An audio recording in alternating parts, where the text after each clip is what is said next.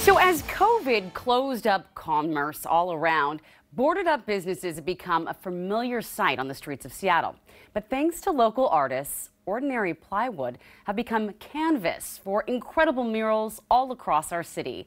Marty Griswold of One Reel talks about working to preserve this historic display of public art really proud of it. And it all came out of this Art Saves Me program that we had started a while ago, but uh, we really, you know, kind of honed it in for the COVID-19 during, during the pandemic. And we started emerging from uh, the stay-at-home order and we started realizing there was incredible art everywhere around the city. And so we decided it was someone had to you know basically capture it right because mm-hmm. it's going to be coming down uh, as business open businesses opened up and nobody would know what to do with it, you know? And so um, we sent a photographer around and captured over 300 pieces uh, that were around the city. It's a really amazing collection of work and i think it's really historic too you know it's, it's like, historic and it was so timely like my favorite I'm ashamed to say this kind of, but my favorite was Tiger King, the Tiger King mural, because it was so timely. Right. It was perfect. It was kind of capturing the whole zeitgeist at the moment, right? It's like, and that's the thing is like, well, we were all binge watching TV, and I was for sure.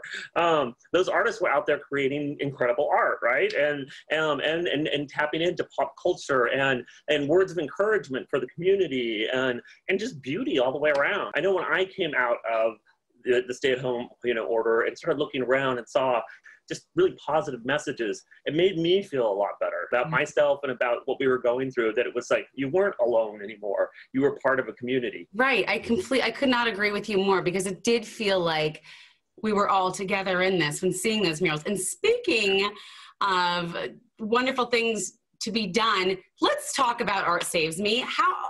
What do you all do, and what have you achieved so far? Art Saves Me is a, a, a program that's under the One Reel umbrella. And One Reel has been around since 1972. And, um, you know, primarily we're known for Bumbershoot and Pianos in the Parks, which are, is our big, okay. big events of the year. Um, you know, this spring we realized pretty quickly that we weren't going to have a lot of summertime events. and so, um, you know, as we were going into the stay-at-home order, we were looking for ways to engage and, and, and really still support the arts community.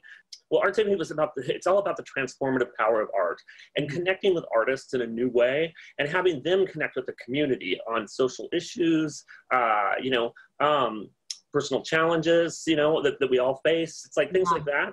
And so when, when COVID-19 hit, we just thought this is a really, this just seems very perfect for this. And so we we jumped really quickly and put together a call for grants. And we gave out five uh, grants to um, five, five really wonderful artists and um, from every di discipline, from dance to theater to music to visual arts and, um, and really, and let them just take it and run with it. And so within about 14 days, about two weeks, we had uh, done the call to artists, and we actually awarded the grants, which is unheard of in the nonprofit world, right?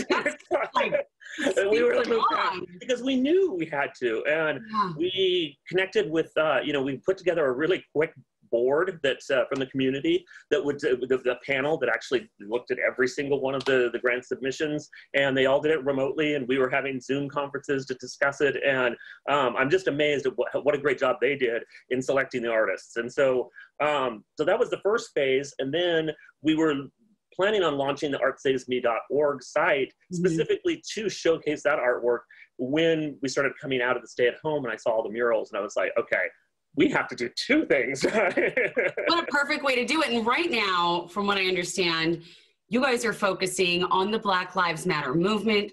Tell us about that exposition and, and who's going to benefit from that support.